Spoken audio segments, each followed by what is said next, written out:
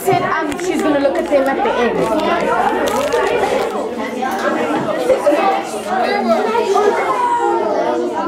We're doing maths and we're supposed to be making these shapes. Here's what we have completed so far.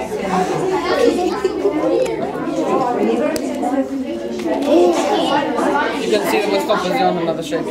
Pentagon.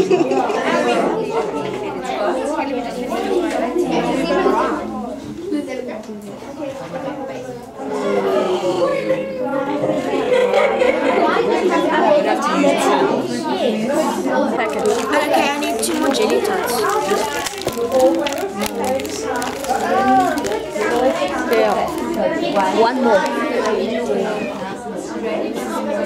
Just don't use that one.